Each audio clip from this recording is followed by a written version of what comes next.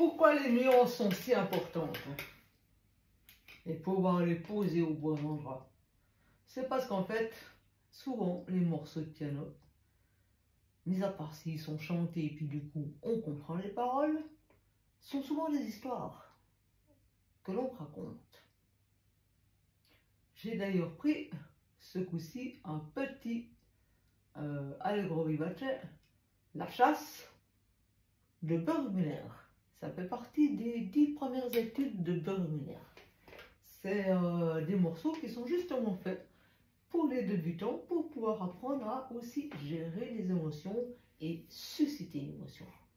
Puis cette partition, ce qu'elle a bien, c'est qu'il y a toutes les nuances qui sont écrites. Toutes, toutes, toutes, sans exception. Ça, vous avez de la chance. Moi, ça me dérange un peu les yeux, mais pour certains, ça leur est très, très utile. Alors, si je prends cette partition, je vais vous, je vais la déchiffrer un peu avec vous, pour vous l'entendiez. Et puis après, c'est le même principe euh, ben, que la suite euh, de la première vidéo que j'ai fait tout à l'heure. Donc, ça marche pour tous les instruments avec, prenez une mélodie simple pour vous, le plus simple possible, afin de ne pas vous en préoccuper et de ne vous occuper que du nuancier. La main gauche du chef d'orchestre. Du. Pas la battue. Alors, nous voyons que dans les 3 4 premières mesures, c'est du, déjà c'est du 6-8, c'est du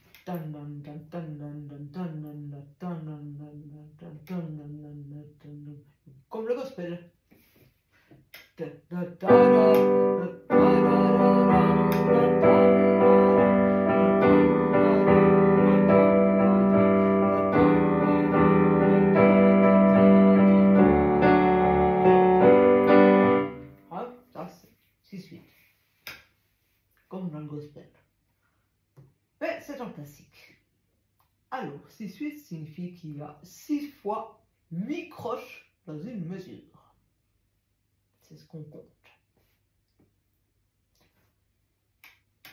Alors, on voit que ça commence par une levée, une croche, une simple croche avec un point. Donc, point, ça veut dire pointer, staccato. Staccato, c'est ça. Je n'ai pas besoin de faire des, immenses levées de main, des immenses appuyés de poignet. C'est l'impulsion du bout de mes doigts, du bulbe de mes doigts. Quelque part, ça doit faire comme ça, non Un petit peu. Notre main, elle fait un petit peu comme ça, si vous voulez. On renfermer, puis clac, clac, comme un coup de poing.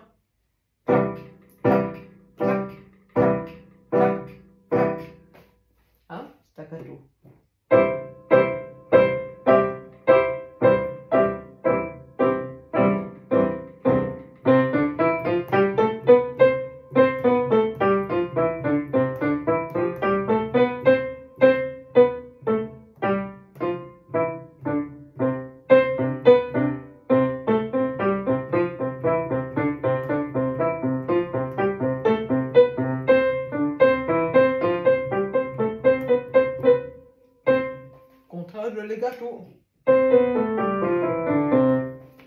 Allez, go. La main gauche, elle fait. Alors le deuxième, on y voit aussi le point du staccato. Donc quelque part, on doit le faire un petit peu staccato, mais staccato aplati, euh, appuyé, appuyé. Voilà. Moi je dis aplati parce que le symbole c'est un, ça fait comme un, euh, euh, en, en, moins. C'est un petit trait à l'horizontale. Donc j'appelle ça aplati. Valdez va vous dire ça grâce à la théorie. Moi je vous l'explique en pratique.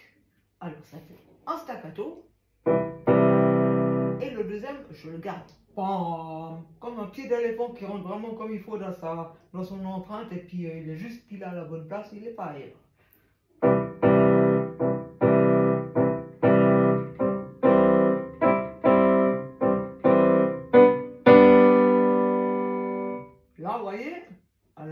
C'est un fortissimo, mais avec point d'orgue. Ça veut dire que j'ai le temps de m'étaler. J'ai plus besoin de respecter le 8-8, le 6-8, mais j'ai le temps de prendre le souffle que je veux. Prends chanteur, mais là on est des pianistes, le temps que je veux, avant de commencer le thème du chasseur qu'est sur sa monture? Ça, c'est vraiment l'introduction, ce début.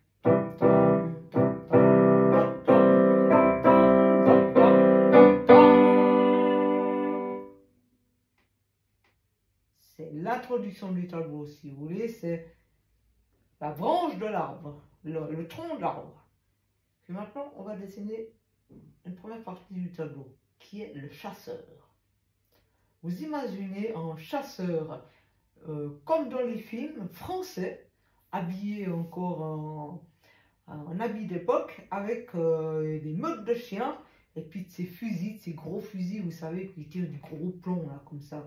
Ils sont à cheval, là. Ils ont une, casquette euh, pour euh, les chevaux et tout. Et ça s'appelle la chasse à cour. Alors, c'est un chasseur à cour. Il est fier sur son beau destrier. Un destrier, c'est un cheval. Comment, nous le dit-il Burmuller, il nous propose ça pour nous dire que ce chevalier, euh, ce chasseur, est fier de sur sa belle monture. Il va chasser le lièvre.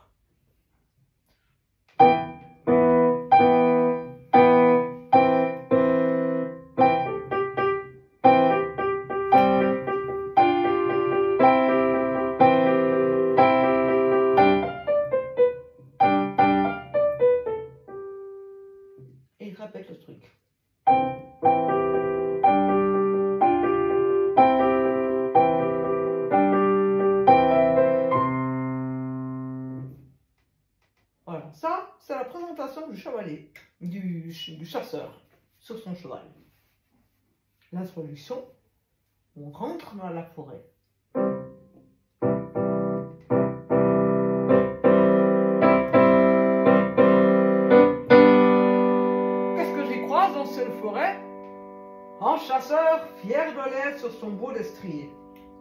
Et il passe devant et il me montre qu'il est fier de.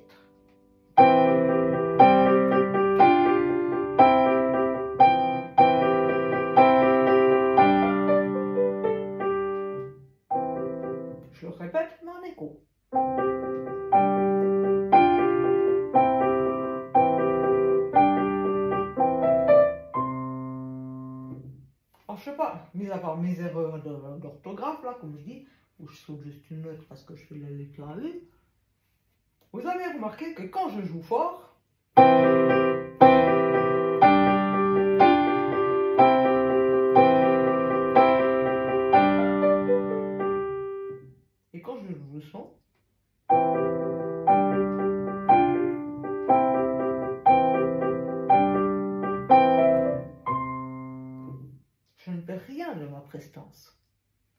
même chose, je garde la même prestance. C'est pas quand je joue fort, je suis beau et fier. Beau et fier.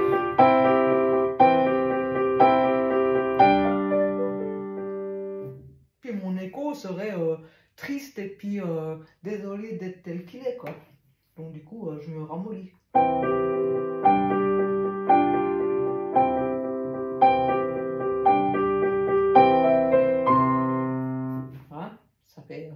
Comme écho, c'est pas terrible. ou comme ombre que crée le soldat. Si vous voulez la première fois, on peut imaginer que c'est le soldat.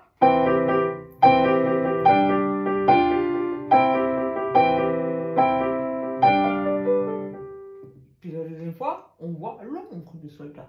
Mais l'ombre du soldat, c'est la même chose que le soldat. Il doit avoir autant d'impact. Mais c'est plus doucement.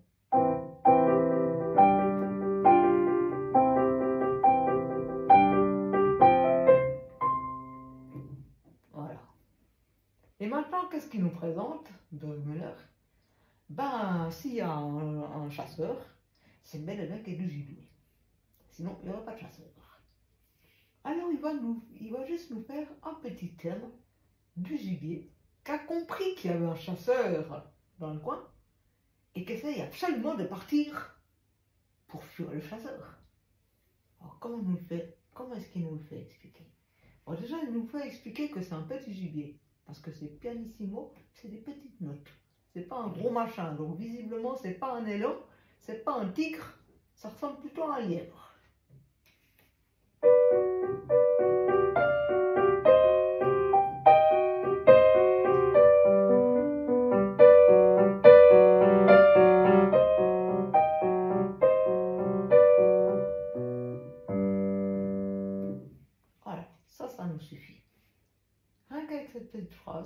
Il nous explique qu'il y a un lièvre qui a vu le chasseur et qui est en train de s'enfuir. Je recommence la petite mélodie du lièvre.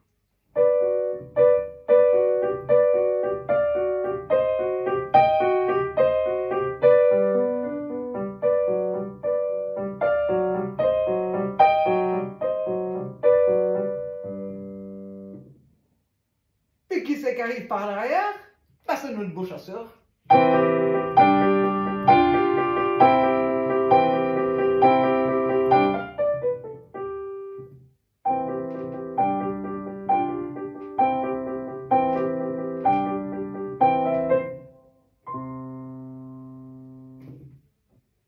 ça se joue deux fois. mais je ne joue qu'une fois, moi.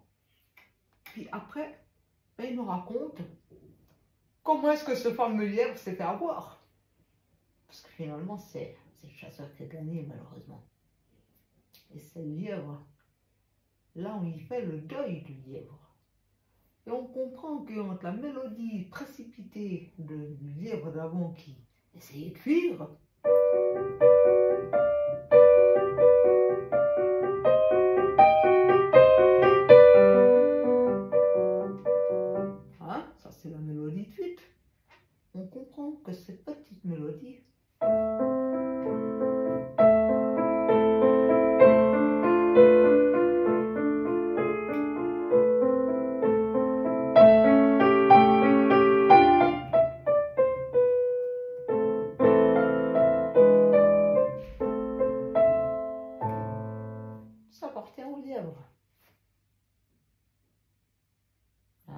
On comprend bien ça. C'est que c'est parti comme. Ça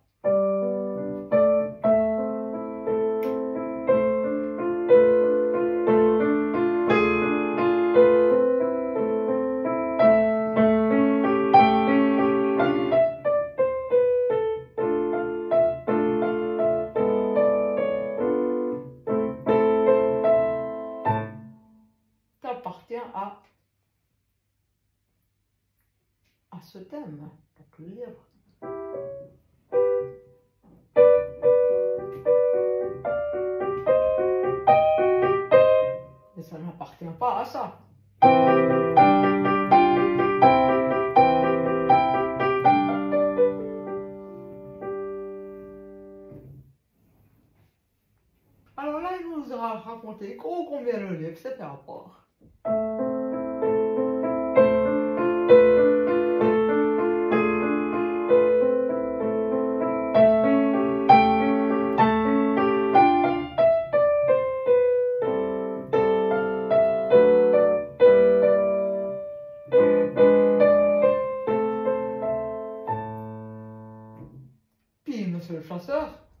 c'est le contraire, il est content, il a pu attraper son lièvre.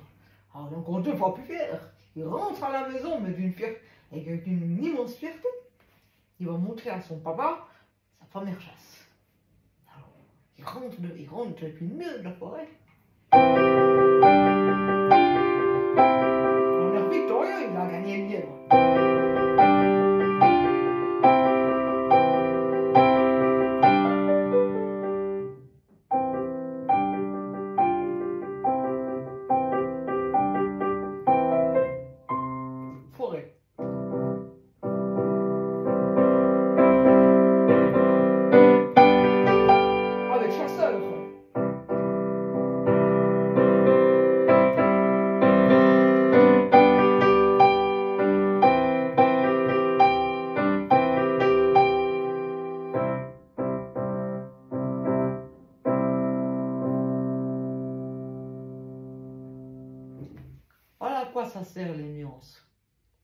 Ça sert à donner vie en morceaux, corps en morceaux.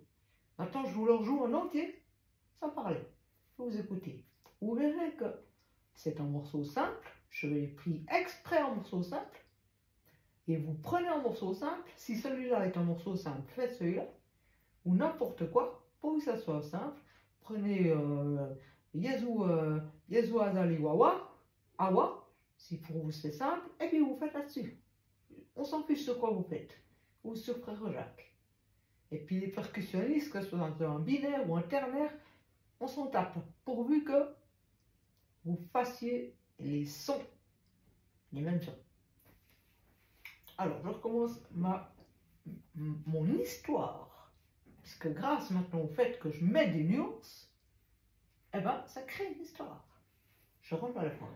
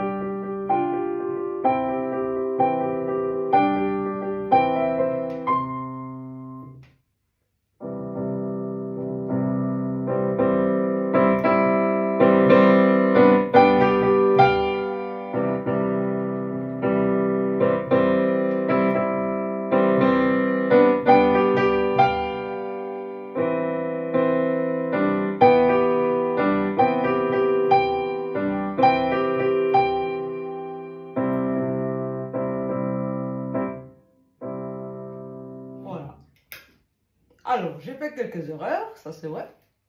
Mais si vous avez écouté, normalement, vous devriez avoir entendu toutes les nuances. Et c'est ça qui est important.